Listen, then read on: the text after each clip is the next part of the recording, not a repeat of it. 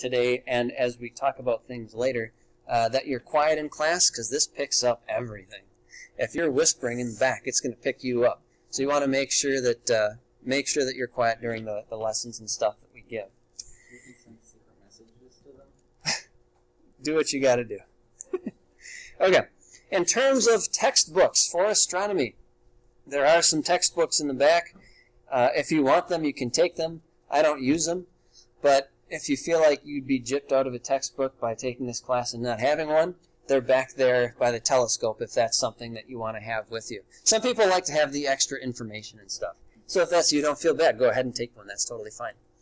Uh, but yeah, I don't really have a textbook for this class. I just, I kind of, the way I made astronomy is I, I found we have like 23 topics that we go through. And that's all the different planets. It's, it's different stars, it's galaxies, uh, different moons, things like that. And I just picked out what I thought were the most interesting things about those, and I slapped them onto a PowerPoint. And uh, basically, that's what we're going to be doing over the course of the year. We're going to take a tour of the universe, starting here on Earth, and then we're going to go further out uh, into other planets, other galaxies, and other worlds. So, you don't need to have a textbook with you, but what that does mean is that there's a much higher importance on you taking good notes. Uh, the PowerPoints that are going to be in class are things that you do not need to write everything down on. I will point out exactly what you need to write down from each slide. So make sure that as we go through this in class, you don't like um, take a picture of the notes with your phone because that's way too much material for you to study for when we have quizzes. I'm narrowing that down. Part of my job as a teacher is to narrow down all the stuff that doesn't matter into the stuff that does. And I try and do that to make these quizzes that you'll have uh, easier on you. So don't just do that because it's not going to work for you. we'll go on to, I'll go on to Schoology and just kind of show you the layout before we talk about the syllabus here.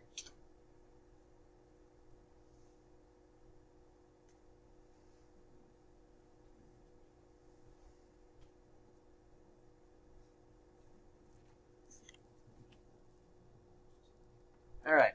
So this is what it looks like for astronomy. You can see projects and guides are here. Uh, presentations, these are the PowerPoints that I give in class. And miscellaneous is right there. This is where you'll find the syllabus and other small things. I really don't think you need to print anything out for this class. Uh, I'll just open these up to show you what's in them here. For the projects, we do a couple different projects that will be handed out in class as paper. So you don't need to do anything with those unless you're just not there that day. The PowerPoints that we go through are all listed right here. But again, you can't just look at these and pretend you're ready for the test. That's way too much information.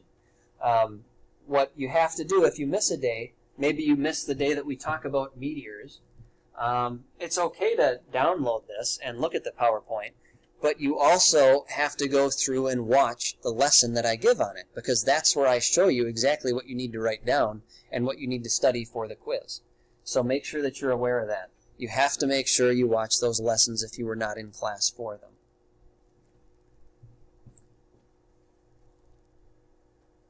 Miscellaneous, just the syllabus, okay. So yeah, on to the syllabus.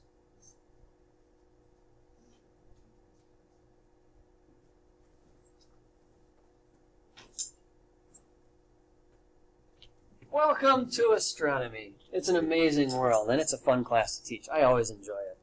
Before we get rolling with this, just something I'll tell you right off the bat. Um, this is not a hard class.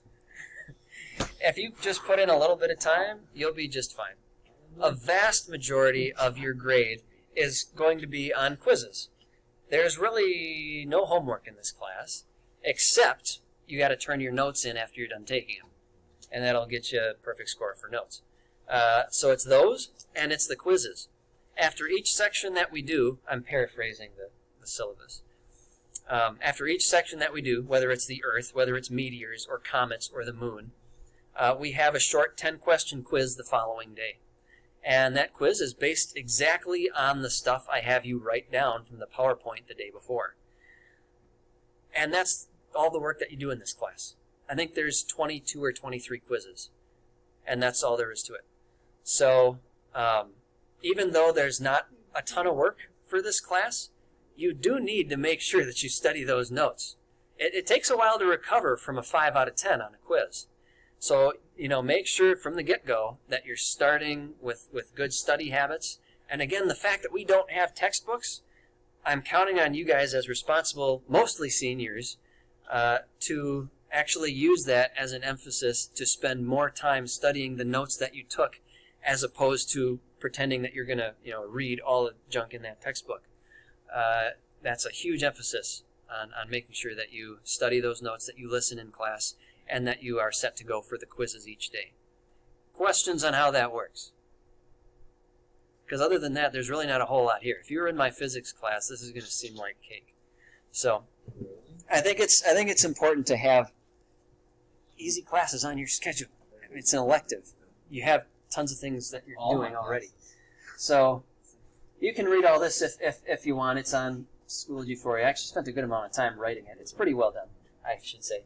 Uh, but again, it's not a it's not a tough class. What else? Um, there are three days in astronomy, really.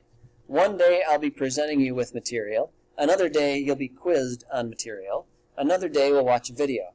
If you don't like videos, this is not not the class for you. We watch a lot of them. But the thing with videos, though, because it's such a big part of class, is you got to make sure that you're actually paying attention and watching those videos. Uh, you can't be on your phones during the videos. You can't be on your phones at any time. So you want to make sure that, that you are paying attention. Again, one of the things that I'm going to be strict about, because there's not a lot, whole lot of stuff to do, not, not a lot of work that you'll be assigned with in this class, is the work that we do have and the stuff that we do have up there, you've got to make sure that you're here and present and listening for. All right, so that's the deal. Talked about that. Talked about that. Talk about that later. No tests. Extra credit. If you want to do extra credit, you can write on something astronomy related. Every half page is worth one extra credit point. And of course, that's double spaced. I've got all sorts of astronomy magazines over there if you want to get something from those. Yeah, as long as it's astronomy related. In terms of the bottom stuff here, uh, obviously you want to be respectful of all people. One person may leave. Okay, so yeah, here's the thing with the hall pass now. So they used to have a hall pass over there, but we can't have everybody's germs get on that. So every time you go to the bathroom, you got to ask me permission, and I got to write you one of these fancy things. So do your best to limit that to like once a week, if not less. I would appreciate it because it takes a while to fill this out, and I, I'll probably have you fill out the top, and then I'll sign the bottom once you're done with that.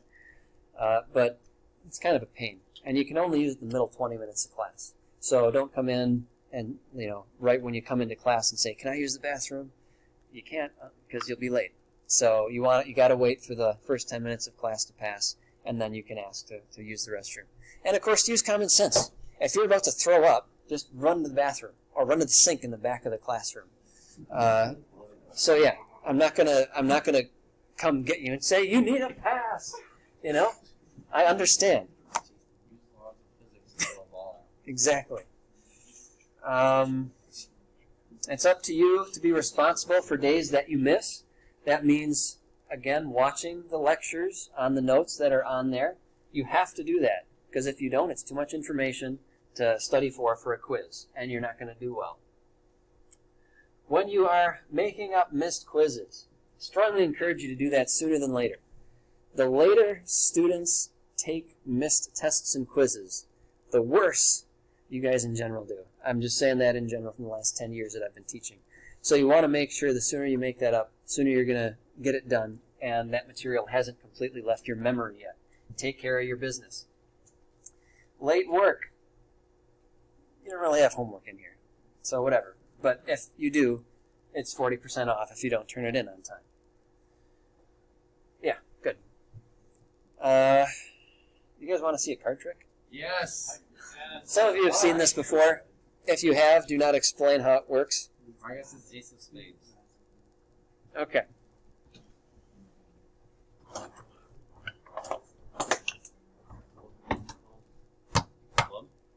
Oh. Those of you watching at home, you can fast forward probably 10 minutes. Okay, let's go to the back. I call this just like an endless game.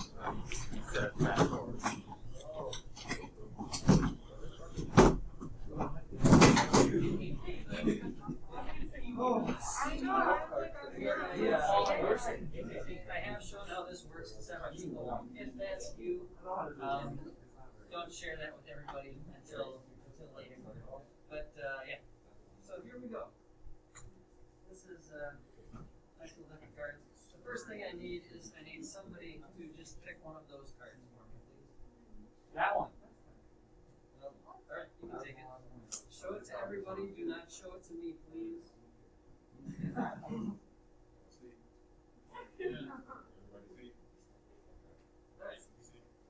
I'm going to do a little shuffle on this deck here.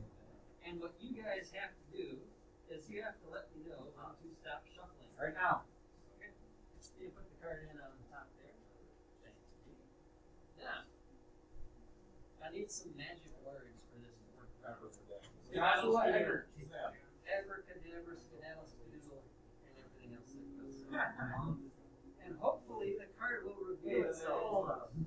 Hold on. Why is that card Yeah. different color? What you need to do is you need to make sure that you're picturing in your mind what this card was while I take my own. Uh, six of spades, right? Okay. So here's what we're going to do. I am going to take this six of spades, and I am going to place it over here, underneath the astronomy textbooks. Does anybody want to sit on the astronomy textbooks? All right, come on. You sit on there, don't let me get at that card. Now, I'm gonna do this little shuffle again, and we're gonna see if this works again. So, just tell me when to stop, it can be any time. Okay. This card right here, Wait, hold on. Let's see. Tell me what it is, but just drill that image into your mind. Painful. Okay. Now, I need some more magic words. Yeah, Skadoosh, good, whatever. Right there. And hopefully that card will once again reveal itself as a blue card in this deck. So there's a lot of cards. Uh-oh. He forgot that chicken up from the sleeve. That'd be cool. Oh. Okay.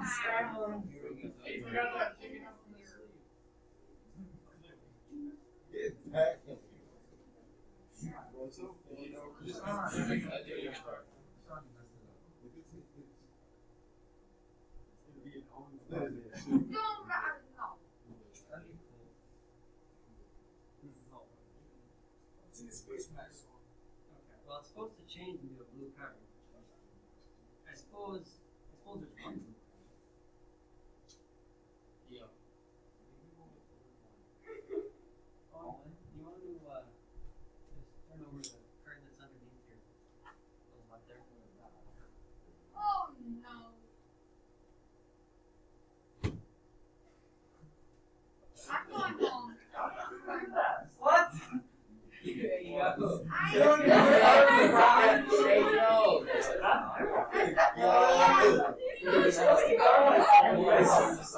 a normal deck. It's got regular cards. If you are interested, I will show you how that works in a week. But I want you to stew on that for a week or so. Yeah. Okay. This one's really like that one takes a while to, to master. This one, you can you can. This one you can use, and it's really, really easy. This one you'll probably figure out how it works before the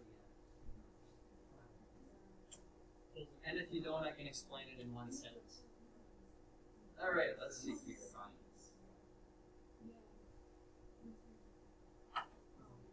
Okay.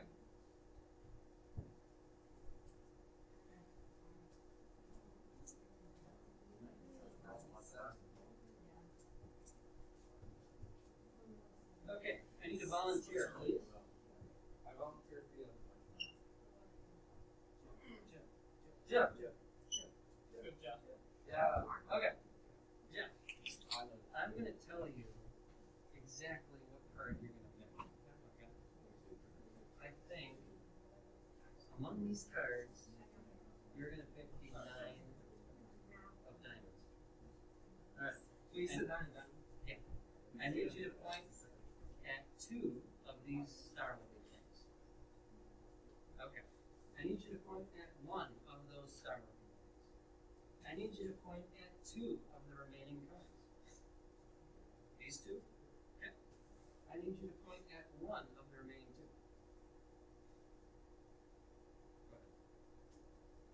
Wow. I don't get it. Everybody know how that works? Yeah. Like? I know how to do it. To So. I'll just show you how to do this one. It's, it's fun. It, it gets a lot of people the first time. Oh, So all you do is you pick a card that you're gonna basically pick. So if I said in my mind I want him to pick the jack of clubs, I'm gonna put it somewhere so I don't forget where it is. I usually just put it close to me. And then you just do this again. It doesn't matter what's. And then if he says, if he points at these two, I remove those two stars. If he points at these two, I still remove those two. Mm-hmm. So it's like the illusion of choice, and most people don't pick up that I'm doing whatever I want after they point. So no matter what, these two are going away. No matter what, this one's going away. And then, you know, until you're left with the last one. I think I'm gonna forget where I so yeah, good stuff. Again, on that other one, let me know in a week and I'll be happy to show that to you. All right, head back to your seats. I don't know how to do.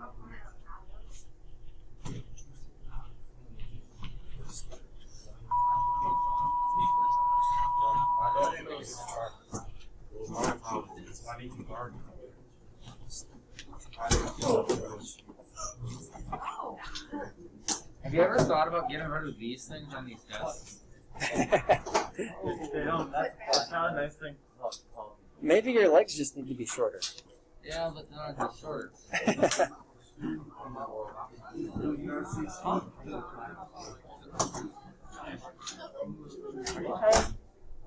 Alrighty. Couple other things. 117, I think.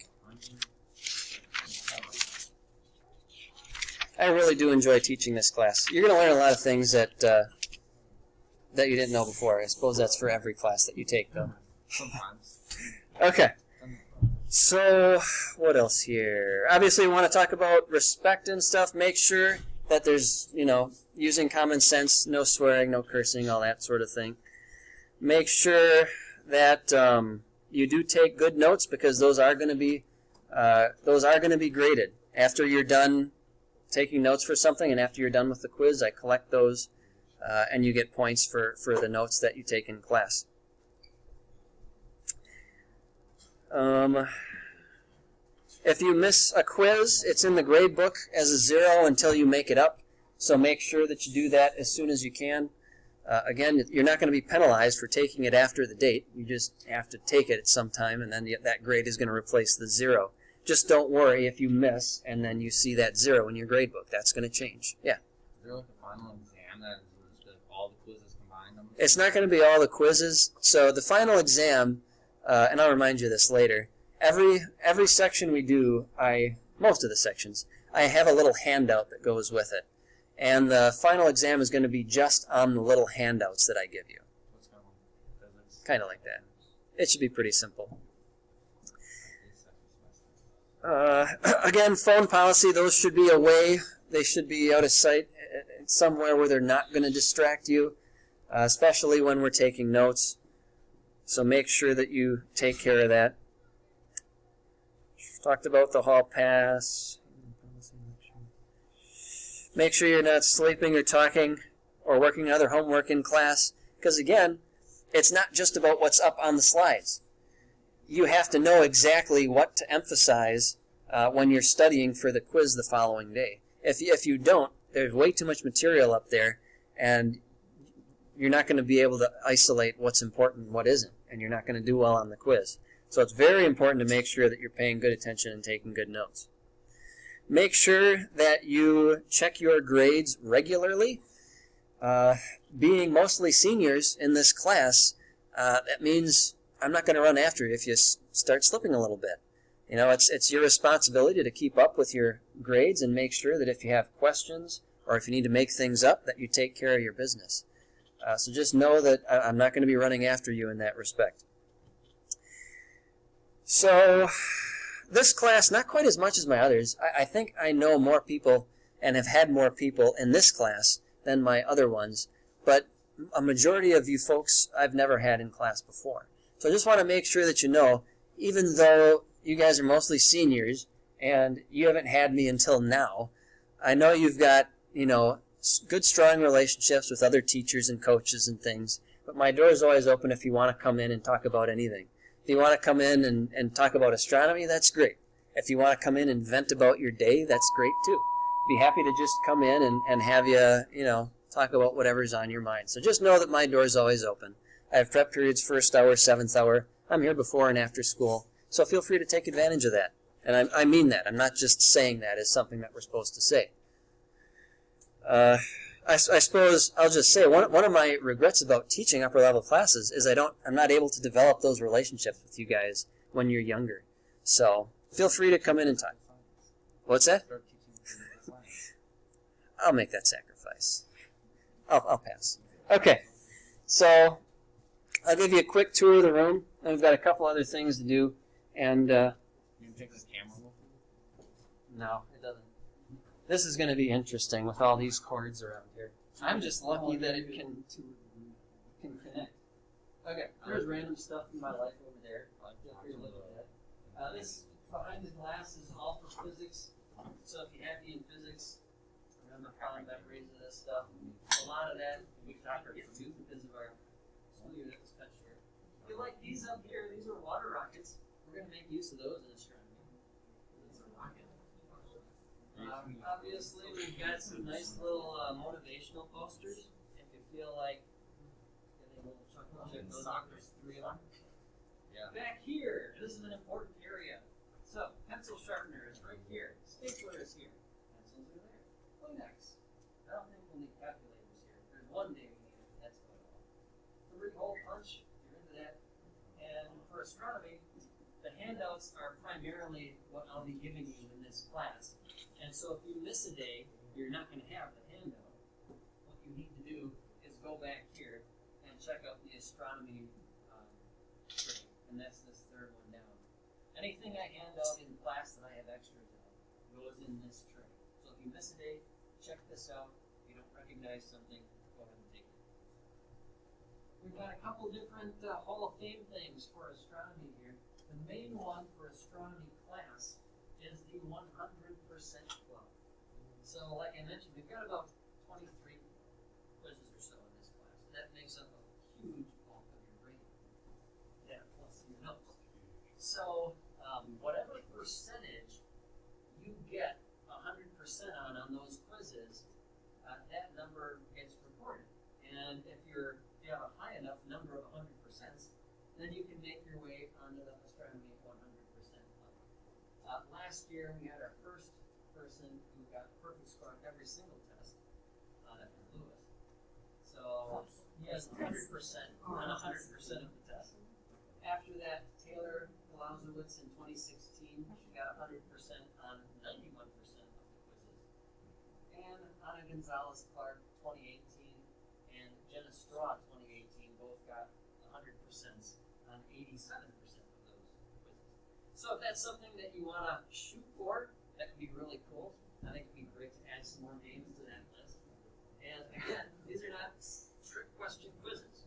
They're all just on the notes that you're given in class. Back here, we've got a telescope. We've got a Saturn V rocket that we're going to talk about later on in the class.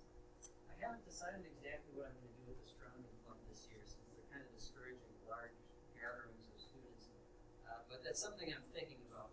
For Astronomy Club, every so often we take the telescope out and we look at planets and stars and different things. It's really, really, it's a good time. It's a good group of kids. So if we do go forward with something, I'd encourage you to take a look into that. Okay, over here, if uh, the classroom starts on fire, the extinguisher's there. One of you guys starts on fire, the fire blanket's up there. Um, lunch menu is there. What's for lunch today? Uh, chicken sandwich. Sixth hour astronomy. Your tray is this one down here. Oh. And uh, this is the homework hand-in area. So when you hand in your notes, they're going to go into this tray on the right, not the left. The left is where I put stuff after it goes in the grade book. So you're always putting things in on the right side. Yeah. Good, good. Now what? What's the red button do? Uh, it's supposed to shut the gas off, but I don't think it works. You want to press it. You know what I think would be awesome? If we replaced the natural gas with laughing gas. That would be great. Or helium. Wouldn't that be awesome? No, what's the one thing that makes your voice really deep? Oh, I don't know what that's called, but I know what you mean. Isn't super expensive? Yeah, it is. Okay, here's what we're going to do. I got two things left that I want to take care of. So, obviously, because this is astronomy, and we're going to eventually get to different stars, different planets, uh, we have to start somewhere. And we're going to be starting on Earth. And what better way to start on Earth than by watching just a few episodes of Planet Earth? So, we need to figure out what episodes we're going to watch. So, I've got episode 14. Let's see. We'll do one each for the next three days. So we'll have three different episodes.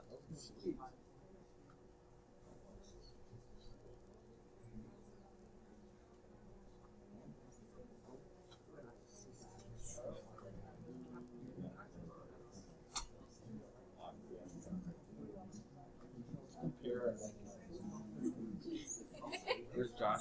Josh on that you?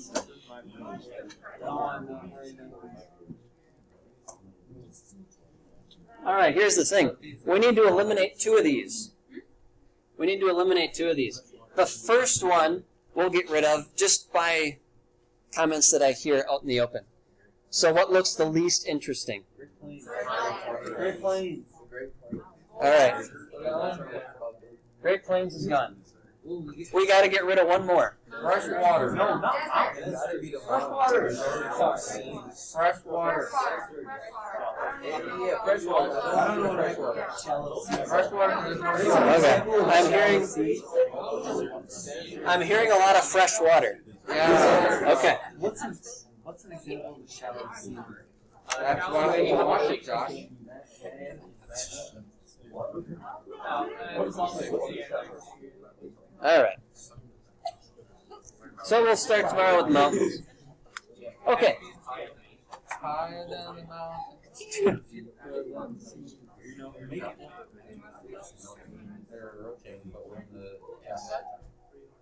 So again, this is the first time that I've had most in class. So I just want to tell you a little bit about myself, and uh, we'll adjourn for the day. Give you a test on this? Mr. J. Gives a test on himself. Yeah. He makes you take like two pages of notes and then has a test on it. Mr. J test. Okay. So, um, I am 36 years old. I was born in 1983. I can't believe I'm halfway to 72. Um, okay. So- right to think about that. I know. That's kind of morbid. So, in 1983, uh, I just put this up here because this is kind of what music album covers looked like back then. Uh, it's a little bit different from what you typically see these days. These were some of the popular movies that were out back then. You might recognize one or two of those. Hulk Hogan was huge in the early 80s. And I was a, yes, he was literally huge for several reasons. Um, when I was growing up, I was a huge Larry Bird fan, which is why I am a Boston Celtics fan to this day. Sorry. My hat left here. No, I got it. Is it in there? Yeah, they, they took it. They had they took it down from the top where I had it uh, over the summer, but I got to put it back up. It's in my drawer. So, uh, when I was really little, I had one of these fancy things. This is Teddy Ruxpin. And what you would do is you'd open up his back and you'd stick a cassette tape in there, and he would like narrate, and his eyes would blink. So I know it's a little demonic, but it was fun back then. This is the uh, church that I was I was brought up in, Trinity Lutheran in Neenah. It's about hundred miles north of here. Uh, I'm from the Fox Valley up there. Uh, I went to Trinity Lutheran School, preschool through eighth grade. That's what the side of the school looks like. While I was a little kid, I enjoyed uh, cartoons. The Real Ghostbusters, Batman the Animated Series, Mighty Morphin Power Rangers, and of course, the Teenage Mutant Ninja Turtles. They were probably the biggest things from when I was a kid. And I never quite grew out of that. This is my wife and I, and two of our friends at one of the more recent Ninja Turtle movies. I'm not sure. He was just there. I was thinking, look, he had lightsabers in his hand. Oh, those are nunchucks. Oh. He's Michelangelo. Uh, I also was big into video games. This was the first video game I got addicted to. Uh, original Mario Brothers. Probably my favorite game of all time was Street Fighter II, though. I think I've spent more time playing this game than any game uh, ever. Also, a big fan of the Sonic the Hedgehog games. And by the time I got to high school, they started making games in 3D. So I got a PS1. And uh, this was the original Resident Evil game. Good times. All right, so by now I'm in high school, and I went from a Lutheran class of 25 to um, Oshkosh North High School class of 425. Pretty big change. And while I was at Oshkosh North, this was the car I drove. It was a beauty, as you can tell. This is the actual thing. I played basketball. We were also the Spartans. I was in the musicals. That was fun. Also worked at the movie theater to make money for college. That's what the inside used to look like. Is that Harry Potter 3? Yeah, that was a long time ago. Uh, also, we did a lot of promotions at that theater, which was fun. Uh, for Batman Begins, when you guys were like three or four, probably three or four, right? That was 2005. Two. Okay. So um, when you were two years old, I was dressing up as Batman, and uh, this is actually my wife now. We married 13 years after that. That was kind of cool. And it was fun. I was on the roof and I was like waving at the kids as they came in. It was a blast. We also did this this skit in front of the movie theater uh, before the show would start, in the space between the front row and the actual screen. Uh, it was a blast. It was a good time. Also, when I was in high school, my parents got the internet. and then I went to college. Uh, this is Halsey Science Center, third floor, uh, where I spent most of my time up here. This was UW Oshkosh, where I went to college, and that was the physics department. I also got my first cell phone in college, and it looked like this. So I graduated UW Oshkosh, and uh, I only got to 117, don't I? Okay. And I decided to get a degree in physics with a professional emphasis because I wanted to be a scientist. So this was my final research project. The main thing I want to show you on this is up until this time, everybody had this background like a solid color. And I was like, screw that, man. I want to make the background look fun. So I put a big starry background, and now everybody does it that way. So anyway, just wanted to mention that. So I got a job as a scientist here, little city called Muscoda, Wisconsin, uh, at a company called Scott Industries. And while I was working there, it didn't take long for me to realize that ah, I just I wasn't passionate about the research within physics that I was using my degree for. What I was passionate about was the stuff I actually learned in school. And that's what I wanted to go back and I wanted to teach. So I went back to UW Oshkosh. This is their education center. And I went back to the movie theater to get, I got licensed to teach from the college, but went back to the theater too. That's back when there was still film. Uh, it was a good time. A couple things I enjoy doing in the summertime. This is my brother and I doing an obstacle course. It's a half marathon obstacle course called the Tough Mudder. It was fun. I play softball. I play basketball. I run. I play darts. I'm married. I'm the one on the right here. And then- Lose the yeah, I still have those. I wear those to school every so often. Uh, so we're married. She's awesome. and we have a little baby. This was uh, Halloween last year. His name is John. Those are my parents, and that's the little guy around Christmas time. That's him throwing up on Daddy. It was. It's like this is like a life in a nutshell, isn't it? You can choose to respond to this by getting mad that this is a comfy shirt, or it can be like, this is hilarious. And I always do the latter. I always try to find the humor in things. And he was just so excited he couldn't keep that milk in his stomach. And he's he's awesome. He's crawling all over the place. He likes to get up on two feet. He can't walk yet, but he still likes to use whatever he can to get on his legs. Kids in their phones, right? That's my car. These are, and it's not a. It lo- I took a picture and it looks fancy. It's not. It's a little compact car, but I like to pretend it's a sports car. These are my favorite sports teams. I can actually explain. I have some time to explain. Good. I'm a Celtics fan because I loved Larry Bird as a kid. I'm a San Jose Sharks fan because I thought Sharks were awesome since I was a kid. I'm a Packer fan because that's what you do in Wisconsin. And I'm a Cubs fan because when I was a kid, we spent a lot of time at my grandparents, and he always had Cubs games on. So a lot of fond memories watching those with him, which is why I'm also a Cubs fan. I am related to Anne Hathaway. We're like sixth cousins or something. But there is actually a relationship there, believe it or not. All right. In the end, I think sharks are really cool, but they're misunderstood a little bit because if you just slap human teeth on them, they don't look nearly as dangerous. There are also things that I don't like. I don't like mint. I don't like Nickelback.